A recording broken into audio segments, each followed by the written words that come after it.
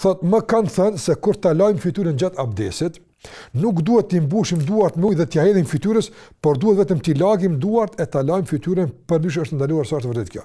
Ë, domthon, a pyetja është, a, a, a duhet me i mbush duart me ujë dhe me hudh fytyrës?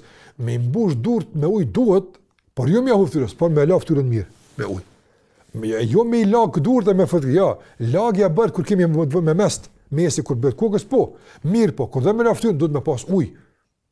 Ngase fytyra nuk fërkohet, por fytyra lahet.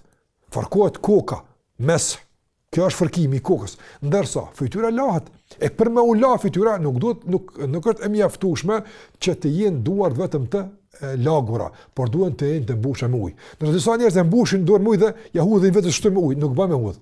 Andaj e mbush me ujë normal dhe e lan fytyrën tamam në mënyrë të rregullt sikurse lahet fytyra zakonisht pa hudhur ujë në fytyrë.